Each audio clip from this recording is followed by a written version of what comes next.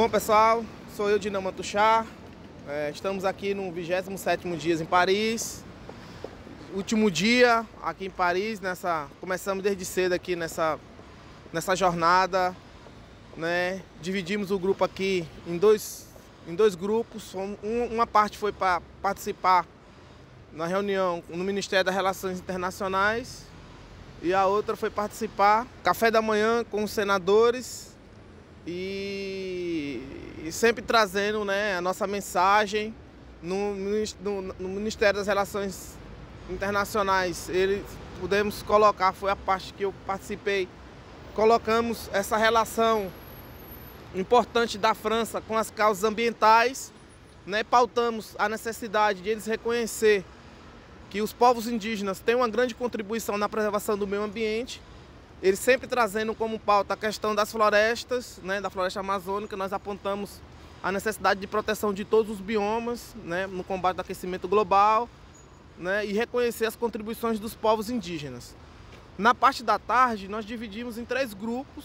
Né? Um grupo foi participar de uma conversa com deputados, outro grupo foi participar do Conselho Econômico e o outro foi participar do Fórum da Paz em Paris.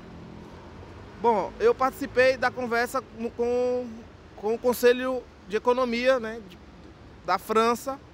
Eles deram uma abertura uh, para que nós consigamos falar né, no, no, na plenária né, para um, um, público de aproximadamente 100 pessoas, né, dentre eles pesquisadores, economistas, empresas e todos eles, de forma unânime, reconheceram a contribuição dos povos indígenas e sabem de forma muito clara que os povos indígenas têm essa contribuição e que querem, de alguma forma, contribuir com os povos indígenas na proteção dos seus territórios.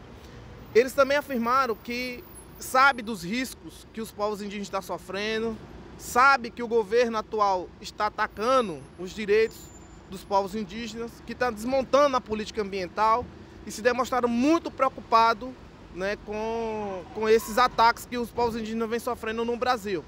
E, de, e se prontificaram de forma imediata a elaborar um relatório né, do Conselho Econômico é, para tentar mostrar que o setor econômico pode contribuir né, no combate ao desmatamento, no combate à mineração ilegal e nós colocamos que eles têm que pressionar o Macron e os parlamentares franceses a criação de uma lei que proíba a entrada desses produtos aqui no território francês e que eles não ratifiquem o acordo do Mercosul no modelo que está.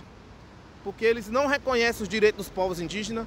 Esse, esse, esse acordo, na forma que está sendo posto, eles não reconhecem os direitos humanos e muito menos garante a proteção dos nossos territórios e das florestas de todos os biomas. Então, ontem foi um dia muito produtivo, finalizamos nossa jornada por Paris e embarcamos para Londres para poder dar seguimento à nossa jornada Sangue Indígena Nenhuma Gota Mais.